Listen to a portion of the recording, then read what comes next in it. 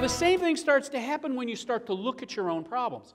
It was said really great by some, some really bright guy way back when. It said, You can't solve a problem using the same kind of thinking that we use to create it.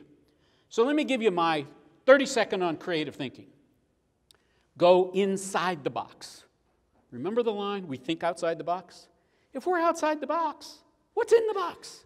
How do we know what's in the box if we're outside the box? If you use the metaphor, thinking outside the box, there is no way to come up with the solution because you can't identify the problem. So you have to step into the box, move the components around, and figure out what's going on.